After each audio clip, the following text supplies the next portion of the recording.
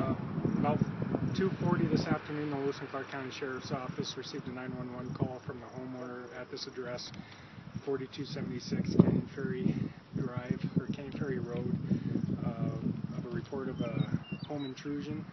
Uh, homeowner reported seeing an intruder inside of his home. As he approached the house, uh, was confronted, or confronted the intruder, um, and he, it is believed that uh, shots were fired as a result of the homeowner and the intruder uh, seeing each other inside the home.